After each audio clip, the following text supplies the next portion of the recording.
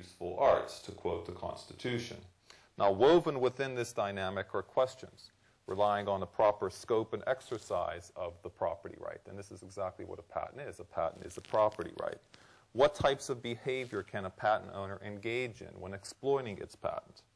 And at the heart of these issues resides notions of competition, certainty in one's property rights, industrial economic policy, and most importantly, what types of rules in the patent space enhance economic welfare? As early as 1858, the Supreme Court captured the balance between private property rights and welfare of society this way. The court wrote, Whilst the remuneration of genius and useful ingenuity is a duty incumbent upon the public, the rights and welfare of the community must be fairly dealt with and effectually guarded. That's mid 19th century. That broad balance between private property and access to that property is what is at the heart of patent law and that's from 30,000 feet. And, and I think that language in capturing the balance, I think that helps us to at least begin to understand why the Supreme Court has been and historically has engaged patent law. Now, monitoring and adjusting this incentive dynamic, this balance, has infused the court's engagement for 150 years. It was a motivating force in the 19th century and remains a driver today. Now, to add some context and structure to the court's approach to this incentive dynamic, we can temporally organize the court's three principal periods of engagement. Looking out over history, I think there are three periods we can examine and say, this is when the court has been engaged in patent law, and we could learn from some lessons from these periods. From the mid-19th century throughout the postbellum era up until 1891 would be the first period. So really sort of the second half of the 19th century in 1891, we have the Evarts Act and the creation of the Intermediate Courts of Appeals. Uh, the second period would be the 1940s. And the third period, what sort of prompts this talk, is from about 2002 to the present.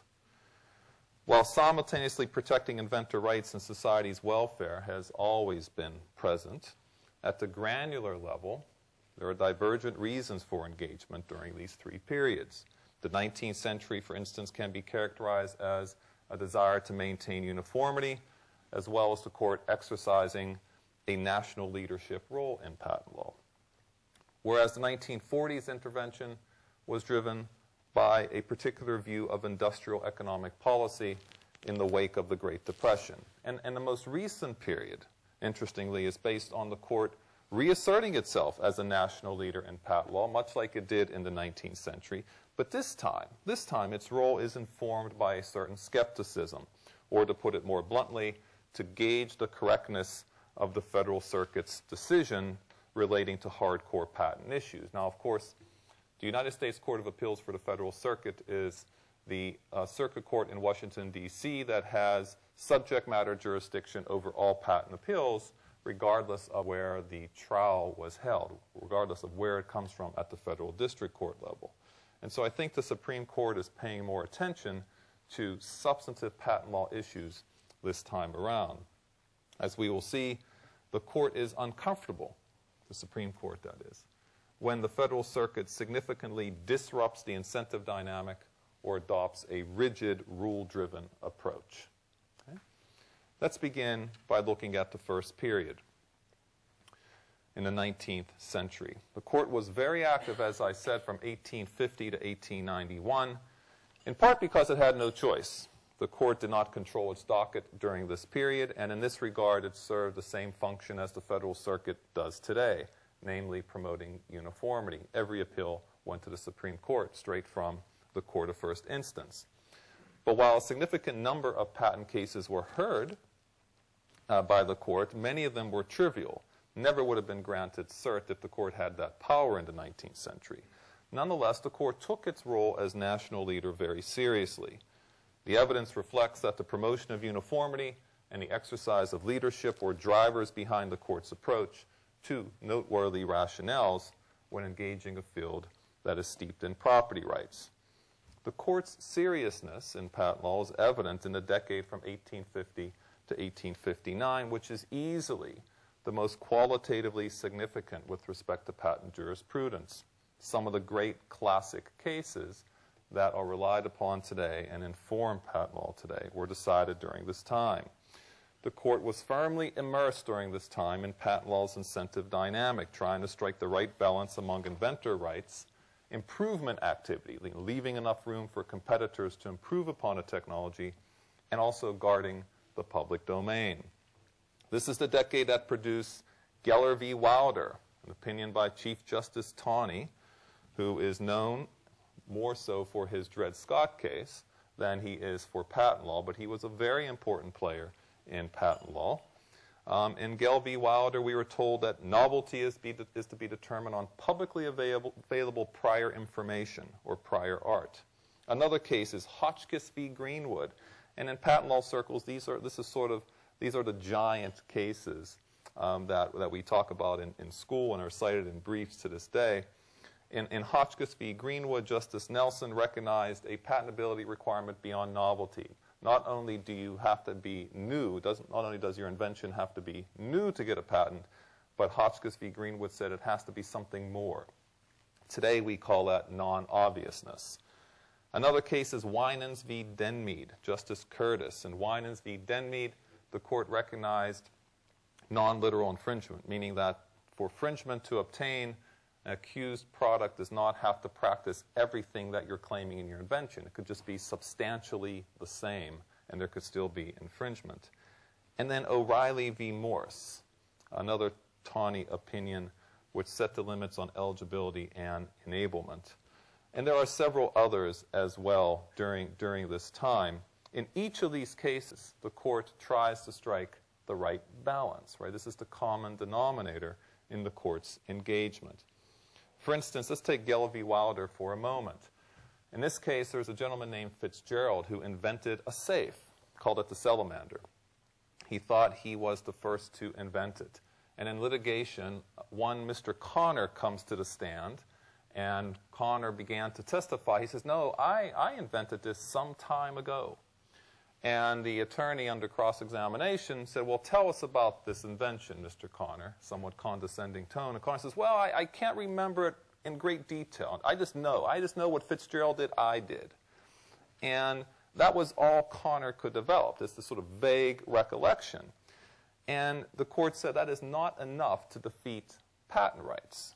Right? You, don't, you need more than that to come up in terms of your memory to defeat patent rights. And the court said this it is the inventor here, meaning Fitzgerald, that brings the invention to the public.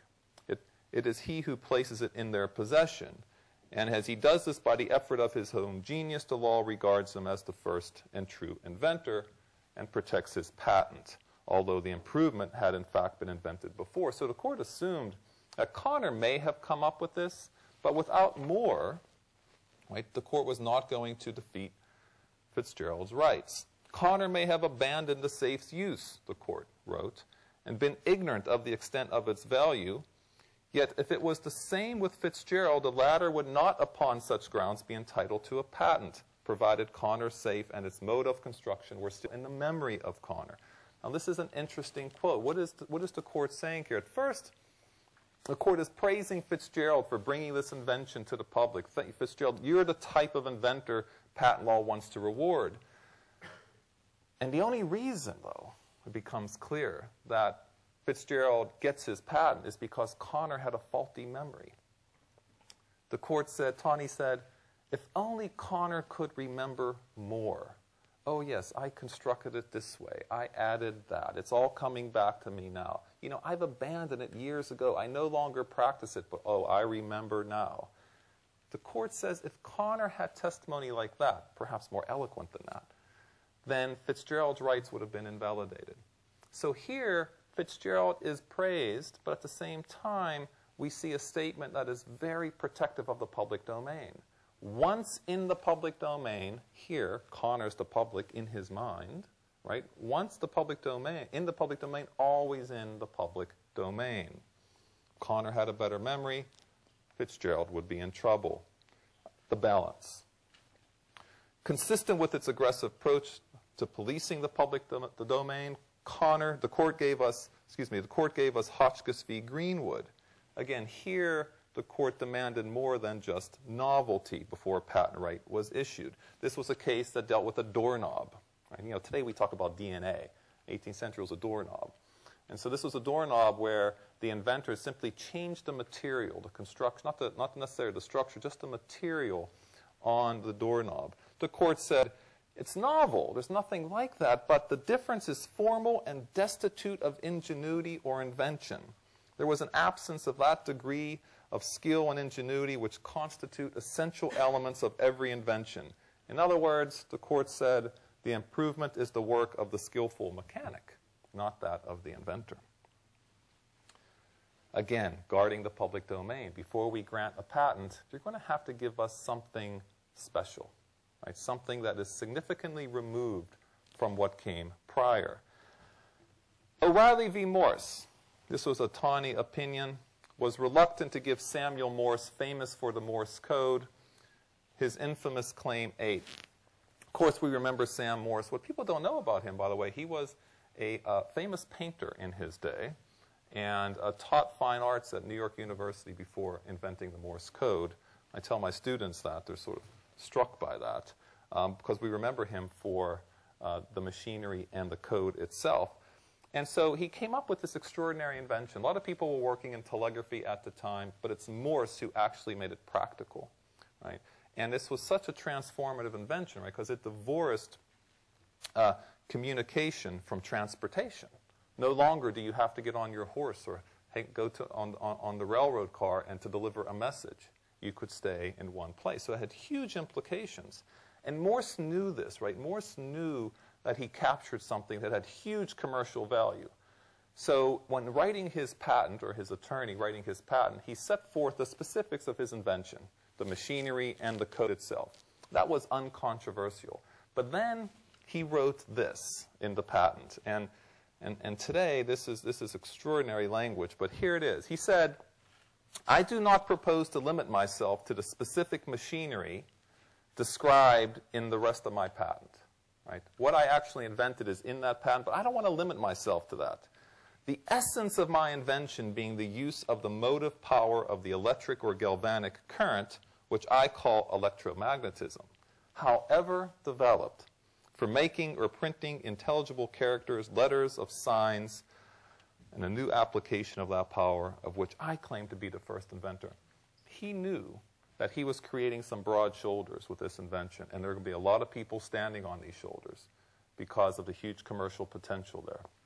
And Morse wanted to capture that activity, that improvement activity, what we call follow on improvement. Chief Justice Taney was having none of it. He was very much concerned, Taney was, with leaving enough room for others to stand on Morse's shoulder and improve upon it. Here's what Taney said.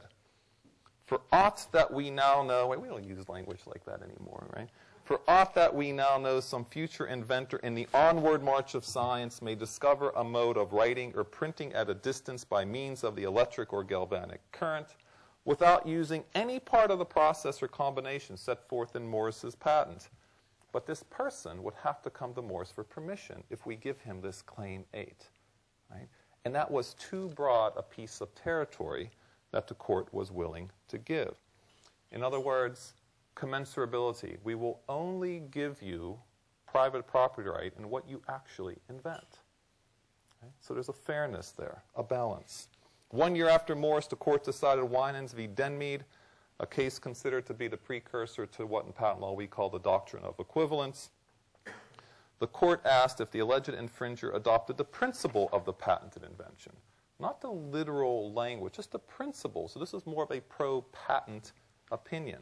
The court wrote, to permit a defendant to escape infringement by asserting that the patentee only recited one form of his invention in his specification would render the property of inventors valueless. So what we see already is the court, again, entering patent law to try to create enough incentives, like Winans v. Denmead, for patentees to invent, yet leaving enough room for others to build upon it. That was what defined the 19th century, and indeed, my thesis is that defines all forms of engagement of the Supreme Court in patent law, particularly today. Deeper in the postbellum era, the court became increasingly more skeptical of patents because of monopolistic concerns, the birth of the corporation. More invention was being created in house, and corporations were wielding that private property in powerful ways. And so by the turn of the 19th century, the court turned more of a skeptical eye to patents, but still so firmly within patent law's delicate balance, that incentive dynamic. So the first period of engagement is one that witnessed a court trying to strike the right balance. In the second period, the court puts its collective thumb on the scale in favor of alleged infringers, resulting in a congressional response. Let us turn to this second period now. For the first 15 to 20 years of the 20th century, the Supreme Court, given its greater discretion in the types of cases it entertained, was relatively quiescent in the field of patents. In the 1920s and 30s, the court did grant cert on several patent cases, but relatively few of significance. This changed in the 1940s when the court averaged 4.5 cases per term. Of course, this was in the wake of the Great Depression, which informed the views of patents of several of the justices, particularly Justices Douglas and Black. Under their leadership, the court approached patents with a great deal of suspicion, emphasizing the monopolistic and social cost aspects of patents. The court expanded the patent misuse doctrine in Mercoid v. Mid-Continent, did away with the common practice of drafting claims in functional terms in Halliburton v. Walker, and most significantly, enhanced the so-called requirement for invention by invoking the flash of genius test. In other words, in Cuno Engineering v. Automatic Devices, the court says, you know what, it's just not enough to sort of labor in the lab and come up with something. You have to have a flash of genius. Later on, the court required a display of synergism. The sum of its parts must be greater than what you would expect. This was the Atlantic v. Great Atlantic v. Supermarket Equipment case. So you have the synergism requirement, you have this flash of genius test. All these hurdles were thrown in the path of inventors before they could get a patent. Indeed, this patent skepticism prompted Justice Jackson to write in a dissenting opinion, and I quote, the only patent that is valid is one which this court has not been able to get its hands on. And that was a view by many. And this was a 1950 dissenting opinion. It was in this judicial climate that Congress intervened in 1952 and overruled some of the court's handiwork of the 1940s. The flash of genius test was gone. Synergism, gone. The Great Atlantic case that I mentioned, in particular, according to Giles Rich, who was a principal drafter of the 52 Act and became one of the most influential jurists in 20th century patent law later on. He was appointed to the bench by uh, President Eisenhower. Rich wrote, This case is what persuaded the drafters of the 52 Act to replace the case law with a statutory provision. Here we have the court just going a bit too far in the balance dynamic, right? It's not only where private actors engage in what they do, invent, innovate, improve upon, and then a lower court engage, uh, sort of disrupting that balance, and here comes the Supreme Court sort of altering it, sort of readjusting it in an optimal way. Here we have the Supreme Court in the 1940s, it was thought of tipping the balance too far, and then Congress had to intervene. Years later, as a judge, Giles Rich wrote about this invention requirement, this requirement where you need something more than just novelty. He said this invention requirement left every judge practically scot free to decide this often controlling factor according to his personal philosophy of what invention should be patented, whether or not he had any competence or knowledge of the patent system. This requirement in the 1940s, justices or judges could say, okay, there's novelty here, but is there invention here? Well, what does that mean? And, and Judge Rich said, well, it could mean anything you want it to mean. And Congress needed to intervene at that point and add some definition. So 19, the 1952 Act was sort of a vote of no confidence in the Supreme Court's patent jurisprudence of the 1940s. that period of engagement was corrected by Congress. It should come as no surprise then, in light of sort of Congress's unambiguous criticism of this precedent, precedent in legislative reform as a response, the court heard just four cases during the 1950s.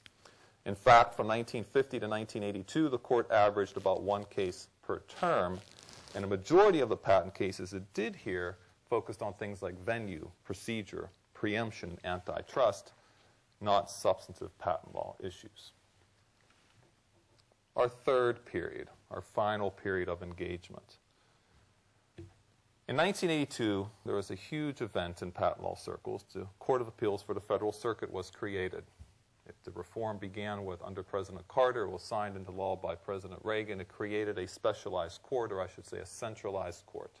That is, every patent appeal, as I mentioned before, no matter where the district court physically resides, goes to the Federal Circuit. Okay?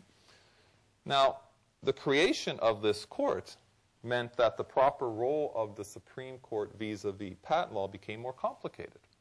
The Federal Circuit has national jurisdiction. No longer can the Supreme Court rely on inter-circuit splits to tee up an issue, much like it does in other areas of the law, copyright and trademark, for instance. And the Federal Circuit, while having a diverse docket, is regarded as an expert judicial body in patent law, a body that has the comparative luxury to apply sustained attention to technological details. So we should not be surprised to learn that from 1983 to 1994, for 12 terms, the High Court was quite reticent to engage patent law, hearing just five cases during these 12 terms. From 1995 to 2001, the court heard eight patent cases. But much like the 1970s, many of these cases were not core patent law issues. Again, we saw jurisdiction being addressed by the court. We also witnessed a case of the Administrative Procedures Act in Dickinson v. Zurko. And then there were constitutional centric cases, such as the application of the 11th Amendment in Florida prepaid and 7th Amendment jury right concerns in Markman case and even a case called Warner Jenkinson. These are sort of right to a jury cases. And, and although, and, and Warner Jenkinson is interesting, it's a mid 1990s case, it, it, it, at least talked about a substantive patent law issue, this doctrine of equivalence I, I mentioned. But the opinion was restrained. And instead of elaborating in greater detail on this substantive issue, the court says we're going to defer substantive elaboration to the, quote, special expertise and sound judgment of the Federal Circuit. So there still was this, this deference to the Federal Circuit.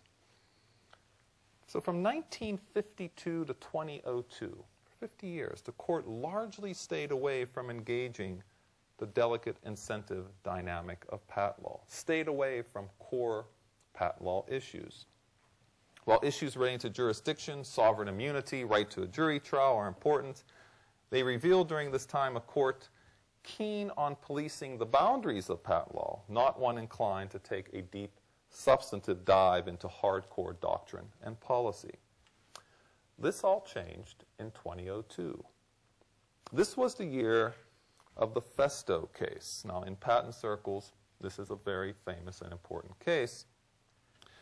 And it dealt with a decidedly substantive patent law issue, something called prosecution history estoppel. And this is real inside baseball stuff. In, in Festo, and I'm trying to unpack this a bit, the court found a vehicle to re-engage patent law's incentive dynamic in a substantive way. The doctrine of prosecution history estoppel, it acts as a leash on the doctrine of equivalence. So it works something like this. When I apply for a patent, I could claim the world. Right? I could claim as broadly as I want, but we know I could only get what I invented. So I have my claims. The patent examiner will come back and say, you know what, you're claiming too broadly because here's, a, here's another patent over here that you're reading on. You're sort of overlapping with that. And so what's very common in patent practice is that I will narrow my patent claims to get a patent. I'll say, okay, patent examiner, let me, let me claim less territory, and, and, and now I think I'm ready to get a patent. And, and an examiner may say yes. So let's say, okay, yes, you get your patent now because you're, you're narrow, right? You're narrow, narrower. What prosecution history estoppel does is says, when I later assert that patent in litigation, I cannot recapture what I surrendered to get a patent. In other words, I'm estopped. Okay? I cannot narrow my patent to obtain patent rights and then try to broaden my patent in litigation to prove infringement.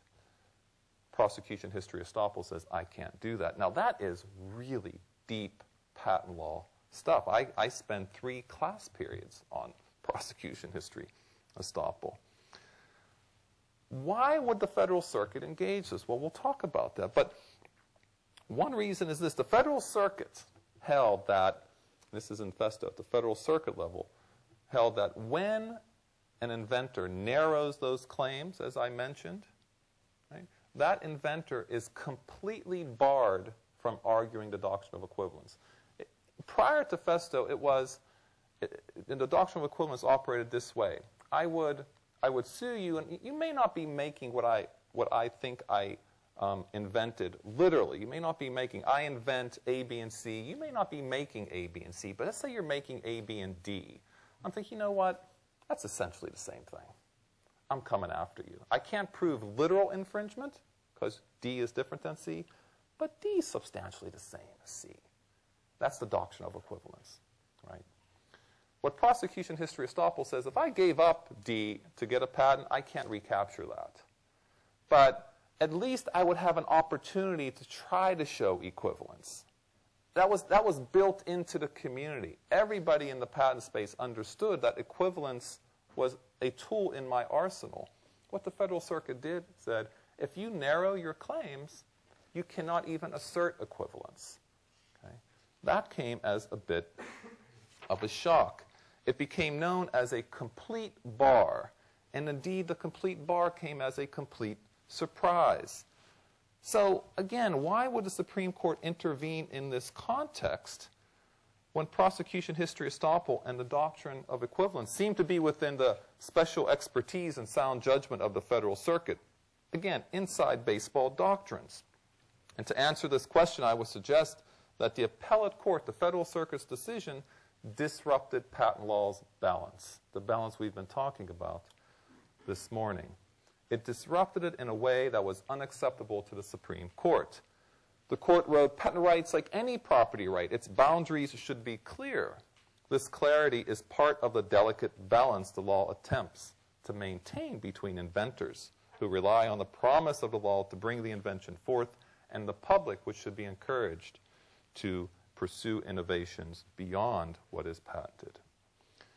And the court, in a very candid, refreshingly candid way, said, again, this is, this is something where they really went down deep into patent law, and says, you know what? We understand why the Federal Circuit did away with the doctrine of equivalence in Festo uh, in, in the context of a narrowing amendment. But there's a reason we have the doctrine of equivalence, and that's because language is imperfect, it's imprecise. Right? You, it's very difficult to describe things with words.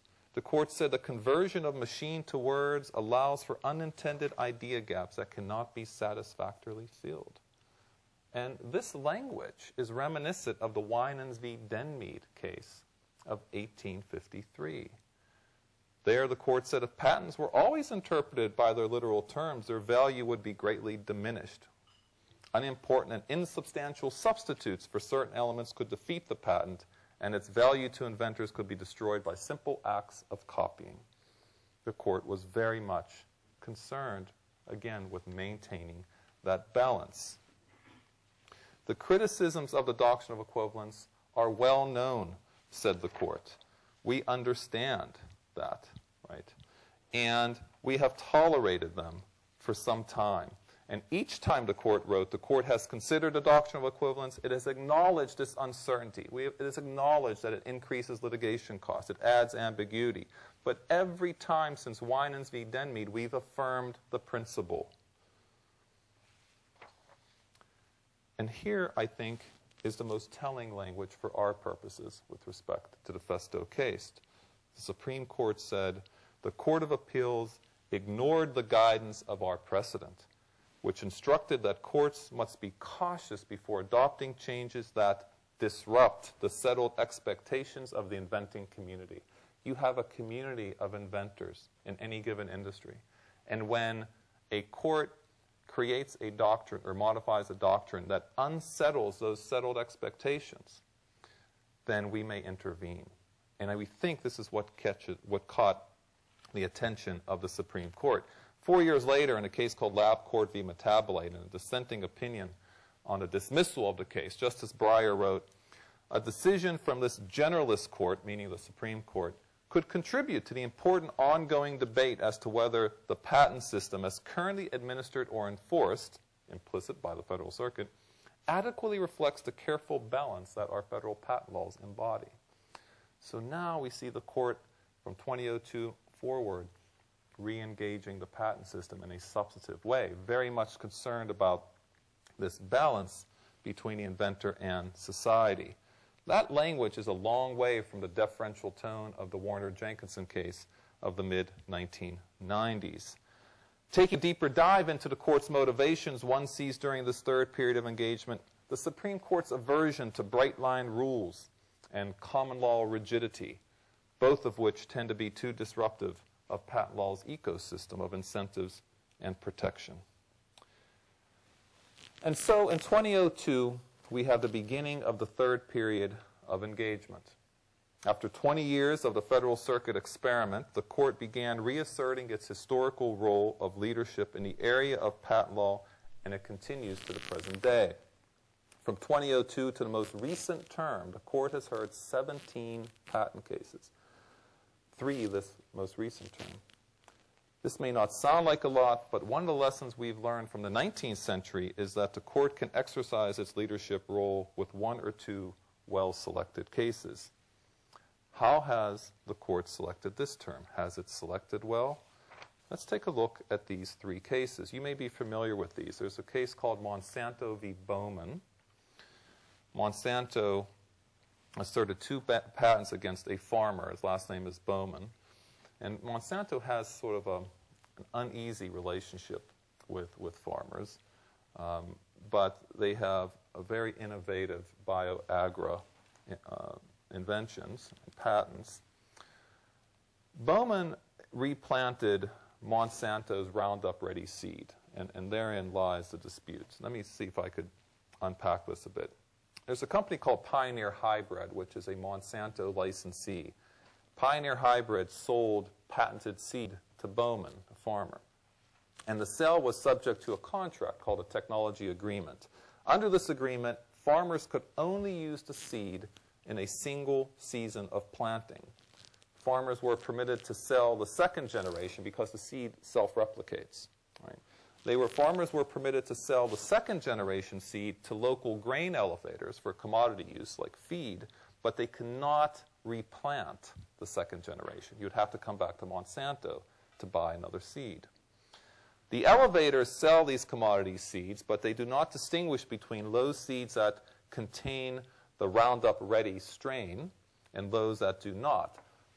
The, the, the power of Monsanto is evident. They have, a, they have a seed that's bioengineered to be resistant to Roundup, the, the herbicide. So you could spray away and you'll kill the weeds, but not the crop. And so that's the power of the seed. So in, in, in the elevator, right, in the grain elevator, you would have seeds that were resistant, Roundup ready seeds, and seeds that, that were not. But because of Mar Monsanto's market dominance, the overwhelming majority of commodity seed are progeny of the Roundup ready seeds, and thus carry the resistant trait. So here's what Bowman did. So he purchased seed from Monsanto, first planting, not controversial. Then, instead of going back to Monsanto, he purchased and used commodity seeds for his second planting because it's a lot less expensive than going back to Monsanto. He planted them, he saved the harvested seed, replicated itself, and found indeed it was resistant. No surprise there, right? Because chances are in that, in that silo, you're going to have a Monsanto seed. So Bowman used that self-replicated seed to plant the following year in violation of the technology agreement, and Monsanto sued. The Federal Circuit held that the doctrine of patent exhaustion, which says if I sell you a patented device, you could do with it what you want, except you can't make another copy. but you could resell it, you could use it as many times as you want. That's patent exhaustion. The Federal Circuit said patent exhaustion did not apply here because the new seeds grown from the original batch were never sold, right? The, the original batch replicated itself and created a new seed. The grower here, Bowman, created a newly infringing article when commodity seed was planted. The court said the right to use patented technology upon purchase does not include the right to construct an essentially new article on a template of the original. Supreme Court grants its cert here.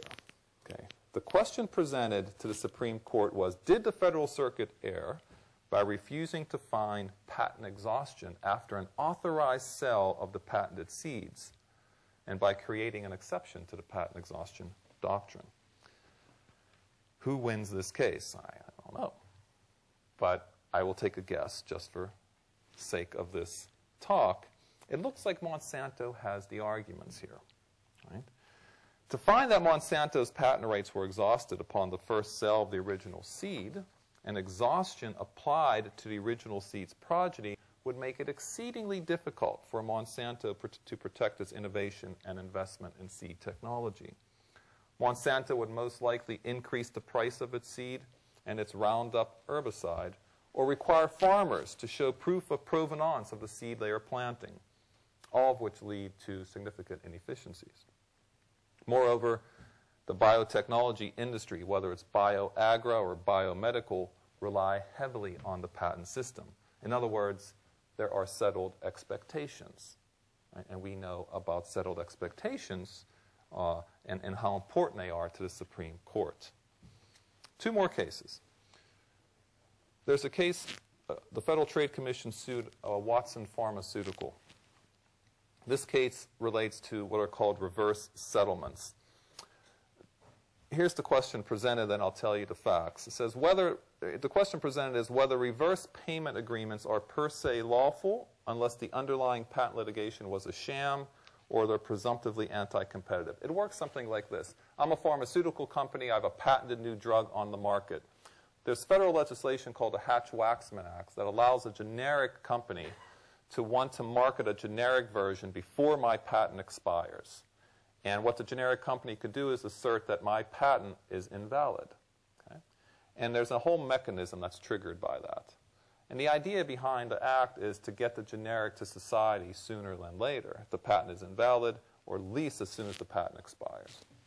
What's been happening lately is that, and this happened in Watson, is that the pharmaceutical company and the generic company enter into a settlement agreement.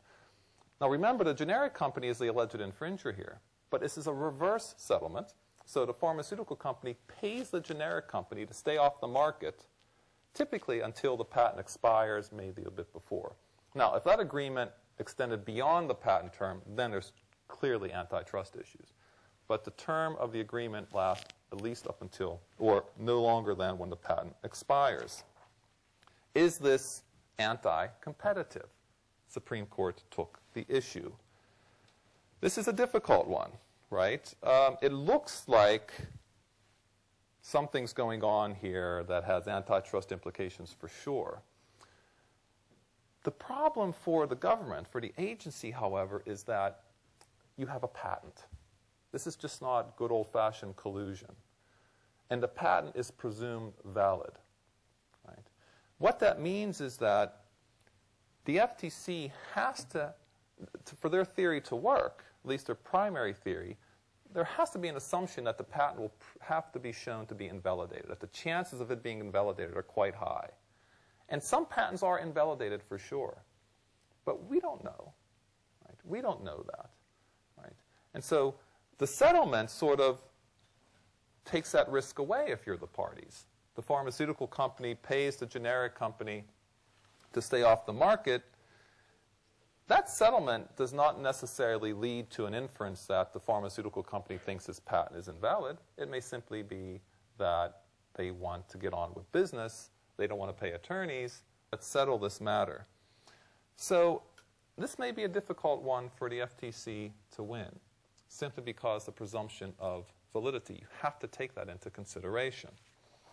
The last case is perhaps the most well known. This is the Myriad case, and the question there are human genes patentable? are they eligible for patent protection? Right, this has captured a lot of attention. And the Federal Circuit held yes, that they are patentable. And what the Federal Circuit said is that they're eligible, and they're citing Supreme Court precedent because there are three filters where the Supreme Court said if a subject matter falls in with one, it falls into one of these filters, you cannot be eligible for protection. Number one, if it's a product of nature, if it's a naturally occurring phenomenon, you can't patent it. Mathematical algorithms, abstract ideas, those are off limits. Why isn't a gene a product of nature?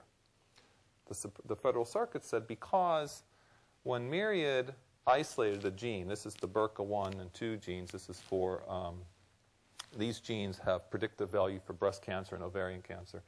If uh, once it's isolated, the only portion that's isolated is the coding portion, the gene itself. Genes in their naturally occurring environment are surrounded by non-coding portions. They may have a regulatory function, but have nothing to do with the gene. So Myriad isolates the gene, takes it out of the body, and that is structurally different than native DNA. There's enough human intervention to give it markedly different and distinctive characteristics. Judge Bryson wrote a dissent at the Federal Circuit where he says, no, look, what you're patenting here, the code is the code. What you want is the code of the gene, what you codes for a specific protein. That is the same. It's like snapping a leaf from a tree, wrote Bryson, and trying to patent that leaf. Yeah, it's structurally different. It's no longer part of the tree, but it's still a leaf just like the code is still the code. Faced with this strong legal argument of Bryson, the majority in Federal Circuit invoked policy and said, look, no one's going to patent a leaf. Patent law is about promoting innovation in this particular space. It's a great example, biotechnology. And if there's anything we know, biotechnology industry, pharmaceutical industry rely on a patent system quite a bit. And again, there's a concurring opinion which brought up the language settled expectations. I will equivocate here on my prediction because if you go with a strict legal argument, it looks like Judge Bryson has some persuasive value in his dissent, and the court may latch on to that. If you work through the lens of settled expectations, and you understand that the court historically has been more of a stabilizing force focusing on incremental change, not a change agent, perhaps Myriad wins this one. But this is a tough one. Let me conclude by noting then that these three cases reflect, as in the 19th century, the Supreme Court assuming a role of national leader in patent law once again, intervening where patent law's delicate incentives have been disrupted. And you see that potentially in each of these cases. While the principle of national uniformity has largely been addressed by the creation of the Federal Circuit, the High Court still sees itself, indeed, as reasserting itself as the judicial leader, one with ultimate responsibility to monitor and maintain the proper balance among the inventor, the competitor, and society. And with that, I'm happy to take questions. Thank you. Yes, sir. So this may sound silly, but would uh, Morse claim that he's entitled to some permission that Apple or Samsung or all those Yeah. companies would have to get his permission? permission. Yeah. This was exactly Chief Justice Taney's concern, is that, you know, in the 19th century, it was hard to envision the use of, you know, where this technology would take us. Morse knew there was going to be something extraordinary, and we know there has been and will be something extraordinary. The concern is exactly that, that if every improver, no matter how innovative, would be captured by Morse's Claim 8 and would have to go to Morse. Now, one could argue, and economists have argued this, that, well, there's efficiencies for giving Morse that power. He's the flashlight in a dark room. You know who to go to. But what if Morse says, you know what, eh, I don't think I'm going to give you a license. You know what? I don't like the way you look. We're presuming rational action here. Empirical evidence has shown that the more eyes we have focusing on improvements, the quicker the pace of innovation. But it's a balance. We don't want to have so many eyes where we take away the incentive to make another giant leap. And so it's that balance. But I think what you highlight is exactly what Taney was concerned with. There was a dissent in this case, by the way, by Justice Grier. When issued that November 8th? Yeah, yeah, and I'm, I'm happy to go into that off, offline if you want, but there, there are arguments for giving it to him.